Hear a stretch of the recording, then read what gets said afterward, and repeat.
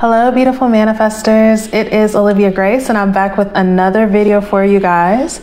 And today I'm sharing with you guys uh, my experience, my takeaways of doing the Vipassana meditation. I so hope I'm saying that right. I, I meant to check and see how exactly I'm supposed to pronounce that, but I'm guessing that is how it is.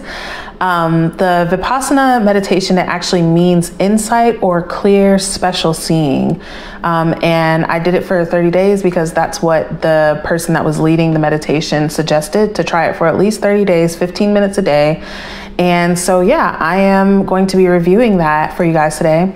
Um, but before I hop into that, I am about to start making videos in this way. So, I'm about to do challenge videos, and I would love to hear what you guys would like to see. I would love to hear about what techniques, meditations, anything high vibe having to do with spirituality or meditation or manifestation. I am up to it. Um, I already have like a quite a few that I want to do myself. So, if you guys know any that you guys want me to do, let me know in the comments.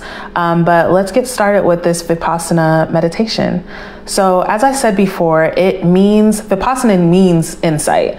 Um, and so, how you actually do the meditation is you just observe your breath um, and you find a way to anchor to your breath. So, either using like in through your nose, the sensation of that, the rising and falling of your chest or your stomach.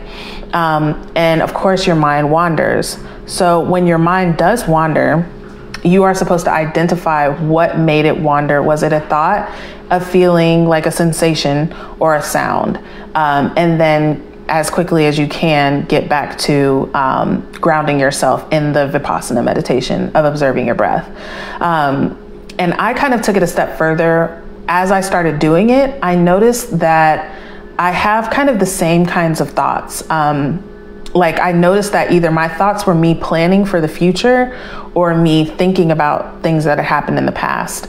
Um, and so I would just kind of note that as well while I was meditating that, okay, not only was it a thought that brought me away from the present moment, but the thought that I was thinking was either me planning for the future, wanting to manifest something, planning for my day ahead, something like that or it was me thinking about, I don't know, maybe a fight I had with someone or um, something that had happened in the past. Usually, honestly, if I was thinking about the past, it was something negative that I was thinking, maybe like suppressed emotions or something like that. Um, and then bringing it back to the breath. So, overall, it was really interesting to me. I it, like I said, like I noticed that I kept thinking the same thoughts. I swear there was probably only about between 10 and 20 thoughts that um, I continuously kept coming to every time I sat to meditate. And for me, that was helpful because it let me know what's kind of going on in my subconscious mind, what's kind of going on in the back of my mind that I'm not even really aware of. Um, and it was it was interesting to me just to see wow i don't there's not really much variety here. I mean it's really the same things. Um, especially with me thinking of the past a lot and thinking of maybe arguments i had with people or things that were unsettling with me um, that i'd had it helped me kind of deal with those emotions and even track down okay what is this what is the common feeling that's coming from all of these past hurts? Um, and as far as thinking of the future which is what i did most of the time um, i didn't really get distracted by sounds. I've been meditating for quite a while so i kind of know how to stay in my meditation um, throughout there being sounds.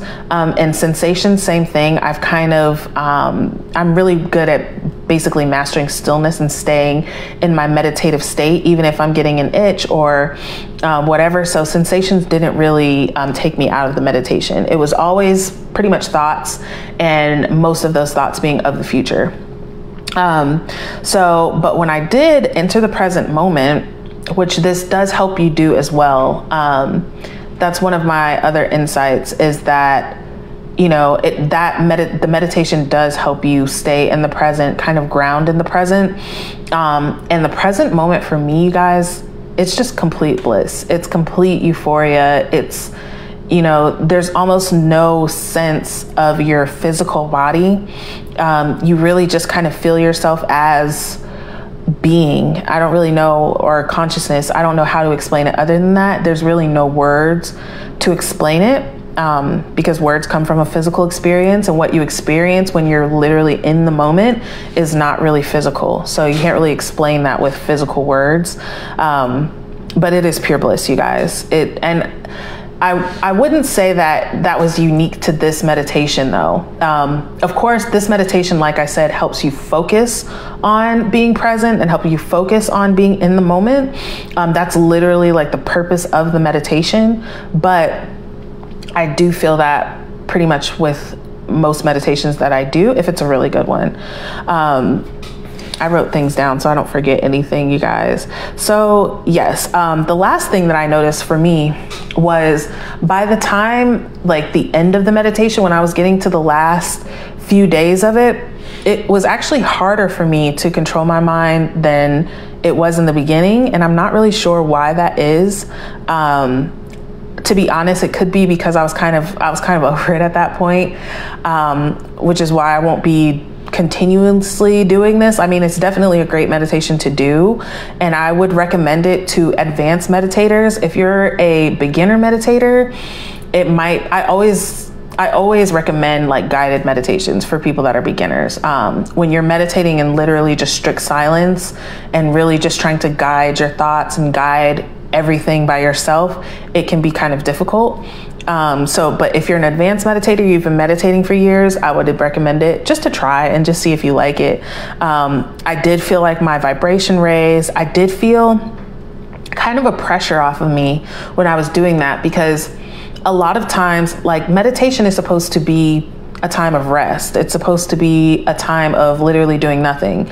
Um, but what I find when I'm meditating is usually I'm trying to visualize something or I'm trying to, um, you know, clear this or cleanse that or raise the vibration or do this. And I'm still doing what I'm supposed to just be being.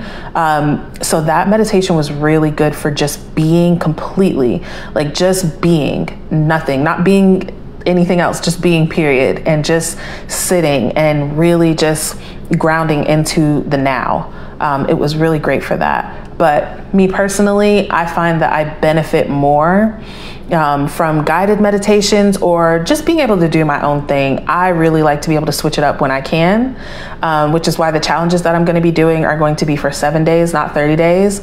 I just happen to have done this and I wanted to share my experience with you guys. Um, so yeah if you guys are interested it's called a vipassana meditation. It is in um, it's on youtube for free. They have a 15 minute version and a 30 minute version. I can actually link it in the description for you guys if you guys are interested. Um, but yeah if you are looking to get more into the present more into the now then it will definitely be of help for you. Um, but if you are a beginner i would say stick to the guided meditations for now. Um, but other than that if you guys have any challenges that you want me to try please put them in the uh, comments. Like I said, I have quite a few, so I'll be coming out with them anyway. But other than that, you guys have a great rest of your day, and I'll talk to you in the next video.